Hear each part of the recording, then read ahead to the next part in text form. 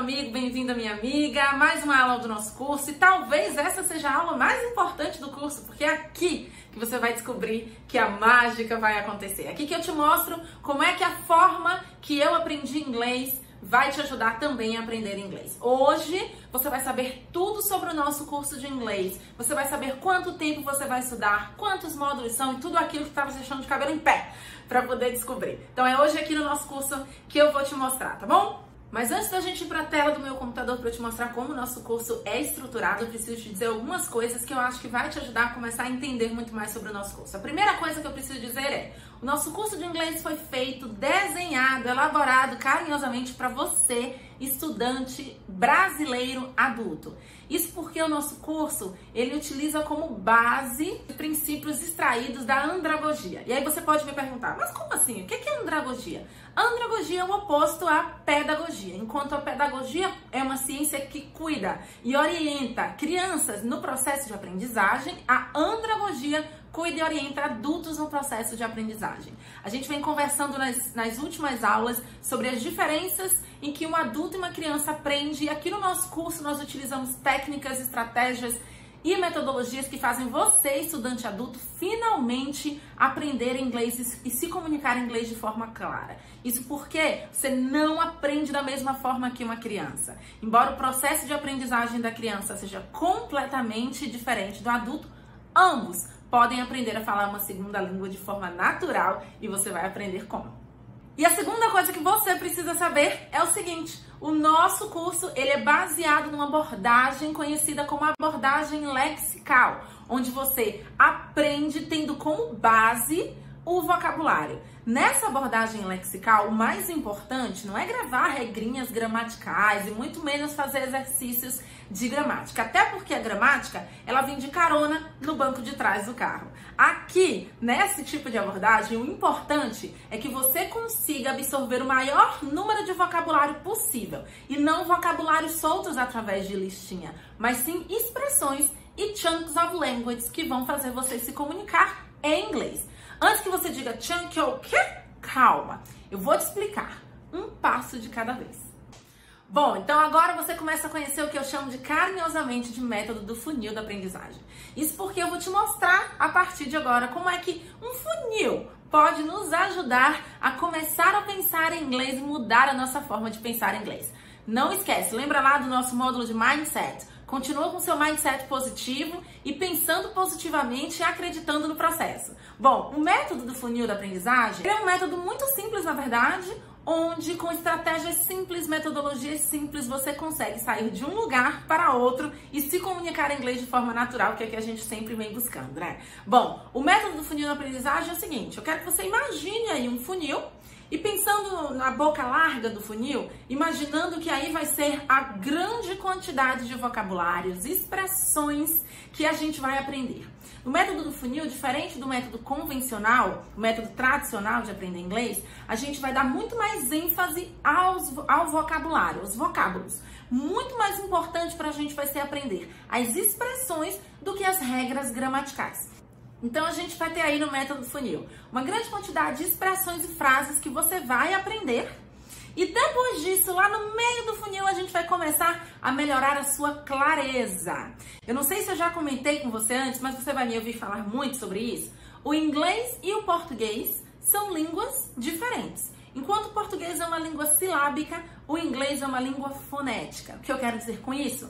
Que os sons importam muito para o inglês. Então a gente vai começar a aprender aí no, no, meio do nosso funil como é que a gente começa a organizar os nossos sons e aprender a soar como se a gente estivesse falando já naturalmente naquele idioma. Isso porque uh, o processo de comunicação ele pode ser interrompido entre um nativo e um não nativo se a sua pronúncia não for clara, tá? Veja bem, eu não estou aqui dizendo que você tem que soar como um nativo, como um britânico, ter um sotaque muito similar. O seu sotaque é a sua identidade. Se você é brasileiro, você vai ter um sotaque brasileiro, mas a sua pronúncia precisa ser muito bem organizada e muito bem clara. E é isso que a gente faz nessa fase. Na última, lá na boquinha do funil, a gente vai trabalhar a gramática. Uh, não acredite em métodos que te dizem que gramática não é importante. A gramática é importante, mas ela não é a coisa mais importante. Beleza? Então nós vamos sim estudar gramática, uma gramática contextualizada em cima do que foi visto em relação às nossas expressões e frases. E a gente vai fazer o seguinte: primeiro você aprende a frase, você fala a frase, você usa, e depois você aprende por que, que você usou um verbo auxiliar aqui ou por que você usou um verbo auxiliar ali. E aí a gente vai favorecendo a forma natural de se aprender um idioma. Então você vai aprendendo a partir de falar, ouvir, entender e depois você aprende a regra gramatical. Esse é o método do funil da aprendizagem. E aí nessa aula aqui ainda, eu vou te mostrar como é que o nosso curso está estruturado. Bom, e aí o nosso curso ele é estruturado em três fases a saber. A primeira fase é a fase intuitiva. Essa fase onde eu vou te dar toneladas de vocabulário, onde você vai aprender muito vocabulário, frases e estruturas pensadas para cada situação cotidiana, para que você na vida real possa conseguir se expressar com naturalidade. Na segunda fase, que é a fase vocálica, é a fase onde eu arrumo e ajudo a te arrumar a tua pronúncia, onde nós vamos aprender como os, os sons são formados e como é que a gente pode se comunicar de forma clara em inglês. E na última, aí sim nós temos a fase dedutiva, onde a gente aprende a gramática contextualizada, onde a gente aprende como é que a gente consegue se comunicar com mais precisão. Bom, como eu já havia te dito, esse é o nosso objetivo no curso. Aqui você aprende de forma constante e progressiva. Todos os módulos você vai aprendendo, você vai se sentindo progressivamente mais confiante para falar inglês, sem medo, de forma natural. Você vai aprendendo os vocabulários da vida cotidiana de forma progressiva. Então, no início, como se comunicar dizendo oi, tudo bem, como vai você? E depois a gente vai aumentando o seu vocabulário dentro de situações específicas que o indivíduo adulto passa. Dito isso, eu vou te levar para a tela do meu computador para que você possa visualizar, você, meu amigo, que é estudante visual, para que você possa ver como é que o nosso curso ele está estruturado. Olá, pessoal! Estamos aqui na tela do meu computador para que você possa ver novamente, agora em detalhes, como é que o nosso curso funciona. Então, eu vou te mostrar aqui como é que o curso foi pensado para fazer você falar inglês naturalmente. Então, vem para cá para a tela do meu computador, presta atenção aqui. Então, a gente tem o nosso English Unlocked, e o, o nosso curso é dividido em níveis. Nível A1, nível A2, nível B1 e nível B2. Não foram níveis que surgiram da minha cabeça, estão no quadro comum europeu de referência de línguas. Então, cada dentro de cada nível desse, a gente vai trabalhar algumas competências para que você fale inglês de forma natural, sem medo. Bom, aí o que, que eu vou te mostrar? Quanto tempo você vai passar em cada nível e quais atividades você vai fazer. Vamos começar a fazer, eu vou expandir aqui apenas o nível 1, tá? O nível A1. Porque todos os outros níveis são similares, é só para você ter uma ideia. Bom, expandindo o nível A1, nós temos que em cada nível desse, nós temos três diferentes módulos. Módulo 1, módulo 2 e módulo 3 no nível A1. Teacher Lori, e quanto tempo eu vou passar no nível A1? Você vai passar três meses em cada nível. Isso porque você vai estudar, estudar cada módulo durante um mês. Então, aqui como você vê, ó, módulo 1, um mês, módulo 2, um mês, módulo 3, um mês. Então, no final do terceiro módulo, você concluiu o nível 1 e vai ser colocado em outro nível, certo? Vamos abrir aqui o módulo 1 para a gente poder começar a se organizar. Lembra que a gente tinha conversado lá que nosso curso é dividido em fases fase intuitiva, fase vocálica e fase dedutiva? Bom, então eu tô colocando para você aqui o curso separado nessas fases. Vamos chegar um pouquinho mais para cá para que você possa ver. Então, na fase intuitiva, que é aquela fase onde você vai ter vocabulário até doer a sua cabeça, ela é dividida em três semanas. Semana 1, semana 2 e semana 3. Cada semana dessa, a gente vai ter um assunto novo e um texto com áudio novo para você estudar. Então, deixa eu passar rapidinho lá na semana 1. Como é que essas semanas vão ser organizadas? Bom, a semana 1, ela é organizada em seis passos diferentes. Cada semana vão ser organizadas em seis passos. Na semana 1, nós temos passo 1, 2, 3, 4, 5 e 6, como você pode ver aqui. E o mais interessante do nosso curso é o seguinte: todos os dias você vai fazer uma atividade nova não é, não é a mesma atividade. Então o curso não fica boring, ele não fica chato, porque todos os dias você vai desafiar uma nova skill, uma nova habilidade sua em uma nova atividade. Então, por exemplo, no Step 1, o que, que a gente tem lá? A aula de Mind Map. Essa aula de Mind Map, ela vai ajudar principalmente a você, meu amigo, minha amiga, que é visual. Então, você vai ter uma aula comigo, você vai ser guiado, direcionado por mim para aprender os vocabulários que nós vamos tratar durante essa semana. Nessa aula, além de estudar o vocabulário, você vai poder ver, ou seja, a gente tem um mind map expandido para que você visualize e fique muito mais fácil através dessa utilização de memorização de vocabulário que você retém esse vocabulário que você vai precisar. No step 2, nós temos outra aula também comigo. Você vai assistir uma videoaula, que é a aula do texto com áudio. Nós vamos aprender expressões úteis, nós vamos aprender sentenças fixas e semifixas e como formar frases em inglês nessas aulas de texto com áudio, que é uma aula que você tem de videoaula, gravada comigo, você vai assistir. Muito importante que em cada aula dessa você assuma a corresponsabilidade, tá? De desligar o WhatsApp, sair das redes sociais e ter o seu momento de estudo. É muito importante isso. E lá no step 3, o que, que eu faço? No step 3, eu, você começa a fazer, a ser um pouco mais autônomo. Então, no step 3, a gente tem uma mind map, que é uma atividade onde você começa a se desafiar. Lembrando que, lá como eu tinha dito no início desse vídeo, esse curso é baseado em uma abordagem lexical, ou seja, o que importa pra gente aqui é vocábulo, vocabulário, em expressões, em frases. Então, nessa atividade Mind Map, você vai fazer atividades de vocabulário. Tranquilo? Até aí tá tudo certo? Atividades que acabam por fazer com que você memorize tudo que você viu lá no Step 1 e no Step 2. E no Step 4? No Step 4 a gente tem a nossa Word List, que também é um podcast. Isso porque você vai ouvir áudios de inglês nativo, certo? Então você não vai ouvir a voz da Teacher Lori. É muito importante para mim que você perceba que existe uma diferença muito grande entre pronúncia e sotaque. Eu sou soteropolitana, sou da Bahia, então eu tenho sotaque de baiana. Quem mora no Rio Grande do Sul tem o sotaque de quem mora no Rio Grande do Sul. Mas a pronúncia, que é a forma clara com que a gente se expressa, ela precisa ser trabalhada e todo mundo precisa ter uma pronúncia igual, tá? Os sotaques podem ser diferentes, mas a pronúncia, ela precisa ser mais generalizada. Claro, a gente vai ter uma diferença se a gente se tratar de um país para o outro, de alguma região para outra, a gente pode ver uma diferença de pronúncia. Mas na maioria das vezes ela é um pouco mais é, engessada, tá? Bom, e aí dentro desse, desse step 4, que é um step que eu indico que você faça de forma ativa ou passiva, ou os dois, que seria o melhor. Então, tenho meu momento de estudo, sentei, comecei a estudar, estudei passo por passo. Comecei a repetir em voz alta. É importante que você repita. É importante que você se escute falando inglês. E ah, vou para o trabalho. Então, nesse trânsito de carro, ou não, você pode estar em transporte público, você vai fazer o download desse material que eu vou deixar para você e você vai ouvir durante esse transporte.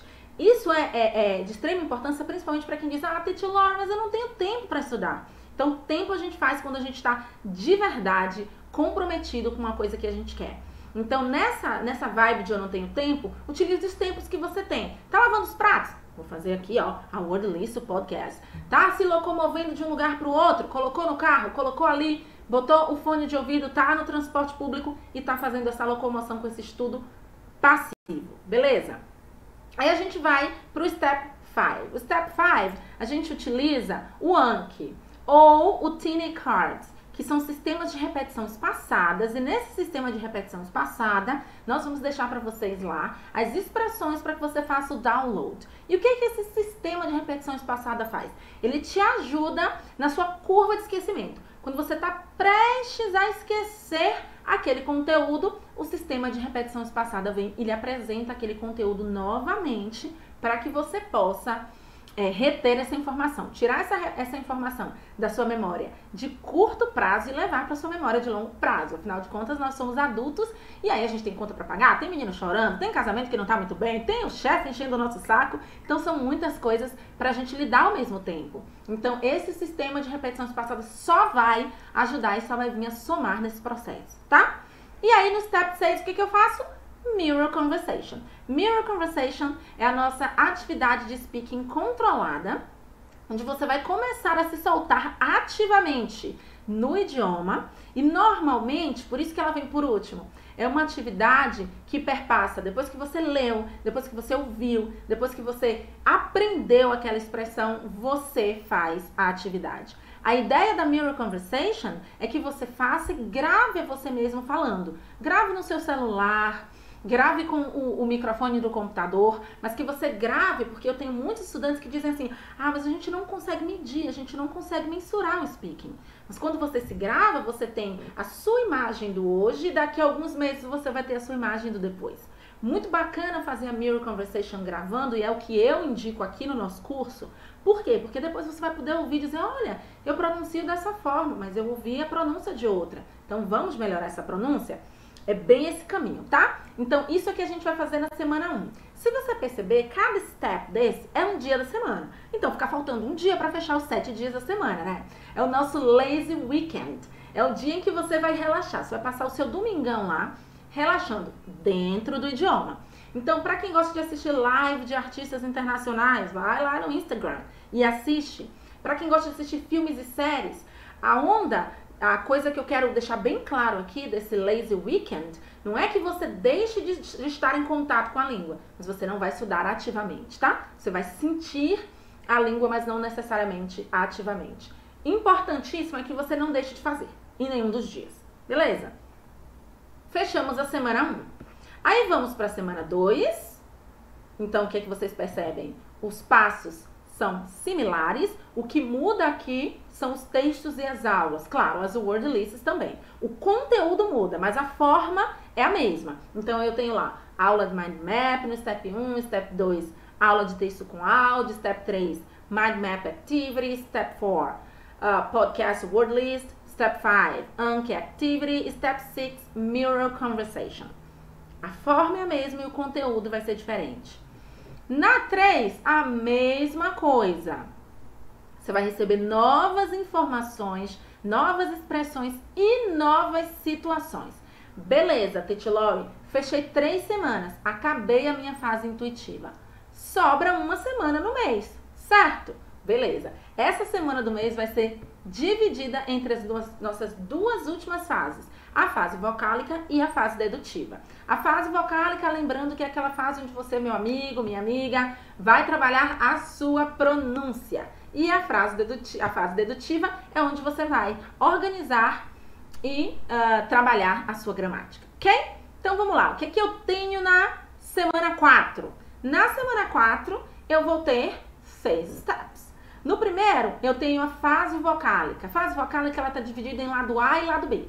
No lado A, nós vamos fazer técnicas de shadowing, ou seja, são técnicas de sombreamento para melhorar significativamente opa, a tua pronúncia e melhorar a clareza com que você fala, tá? Então as pessoas vão te entender de forma mais clara e você vai continuar aprendendo porque você vai ouvir um áudio nativo. Na fase B, no lado B da fase vocálica, você vai assistir uma aula minha, te ensinando os truques do, dos sons em inglês. Então, você vai assistir uma aula onde você vai aprender sobre os sons das vogais, das consoantes, os ditongos e como a gente pode começar a trabalhar esses sons para melhorar a forma com que a gente fala. Depois disso, a gente tem a Shadowing Activity, que é uma atividade sobre a fase vocálica do lado A. Uma atividade muito importante de blank spaces, onde você vai preencher os espaços em branco apenas ouvindo. Ouvir, preencher. Ouvir, preencher. É importantíssimo que você faça isso porque isso vai melhorar muito o seu listening. Depois disso, a gente entra para a fase dedutiva, que é quando a gente começa a trabalhar as grammar skills. Você vai assistir uma aula minha te ensinando sobre aquele determinado ponto gramatical que a gente quer trabalhar, tá? Depois disso, Teacher Laura, eu tô sentindo falta, eu não vou aprender a escrever inglês, não? Claro que vai. Você vai fazer isso nas nossas Copy Makers Activities. O que, que você vai fazer literalmente? Vai pegar o texto do shadowing e vai fazer uma cópia. Cópia? É exatamente como você fazia quando era mais jovem. Você copiava uma coisa que estava no texto e todo o seu sistema ia começando a se habituar, inclusive o sistema mecânico, a mão mesmo, a escrita daquele, uh, naquele idioma. Então a gente vai fazer isso também aqui. A gente vai fazer cópias tá? E aí a gente fecha com a nossa Real English. Nossa Real English, ela vai ter uma entrevista de algum artista falando sobre aquele determinado ponto, então a gente vai poder ouvir um nativo se expressando sobre aquele assunto que a gente quer trabalhar de forma livre, sem se estressar com erros gramaticais, muitas vezes cometendo alguns pequenos erros, por isso que essa série é chamada de Real English. A gente vai ver o inglês na vida real. E para os mais avançadinhos, o pessoal lá do intermediário, pré-intermediário, intermediário, a gente tem uma atividade, chama, uma atividade chamada do Círculo do Listening, ou Listening Circle. E que atividade é essa? É uma atividade em três etapas. Na primeira etapa, a gente estuda uma música. Ah, eu vou cantar? Não, você vai estudar a música. Vai cantar, mas depois. Primeiro você vai entender a música, perceber os pontos gramaticais que tem ali, começar a entender e fazer a tradução dessa música conforme o que você já sabe de inglês. Na segunda etapa, você vai buscar uma entrevista daquele teu artista predileto que cantou essa música que você estudou na primeira fase e você vai sair desse mundo cantado de La La Land e vai entrar para o mundo real, onde as pessoas falam e não cantam. Ah, o melhor dos mundos é que você encontre uma entrevista desse seu artista falando sobre esta música é, em inglês. Óbvio, tá? Então você pode ativar as legendas e colocar as legendas em inglês, isso vai te ajudar bastante. E na terceira e última fase, para fechar isso tudo, você vai pegar o teu celular ou um gravador, caso, caso você tenha em casa, e vai gravar dando a sua opinião sobre aquela música. Então a gente fecha, por isso, o círculo do listening. A gente fez, fecha essa atividade fazendo uma fase ativa, uma atividade ativa, ok? Mas isso é pra galera, mais lá na frente eu falo com vocês isso depois. Beleza, então aqui eu fechei a semana 4. E percebam que quando eu fecho a semana 4, eu fecho o módulo 1. Ó, fecho o módulo 1. E aí, você pode querer me perguntar: e o resto? Como é que funciona? O resto a gente vai fazendo aos poucos. Então, A1 dividida em três módulos, como vocês podem ver aqui, eu deixei bem pequenininho para você ver expandido. Esses módulos divididos em três fases. A fase intuitiva vai abarcar aí três semanas do teu mês e a fase vocálica e dedutiva uma semana. Ou seja, o que, que eu estou querendo dizer, minha amiga, meu amigo? Aqui você vai saber o que você vai estudar todos os dias. Você não vai ficar solto, você não vai ficar largado. Esse é o nosso English Unlocked. Se você tiver qualquer dúvida, todos os meus canais de comunicação estão abertos para que você pergunte. Importante dizer que esse módulo zero, o módulo de uh, fundação, né, o foundation módulo, você precisa e deve sempre voltar para ele caso você tenha alguma dúvida de como o curso acontece ou caso você tenha alguma dúvida de qualquer coisa que foi conversado até aqui, você pode e deve voltar a esse módulo, ok? Vejo você na próxima aula. Tchau, tchau!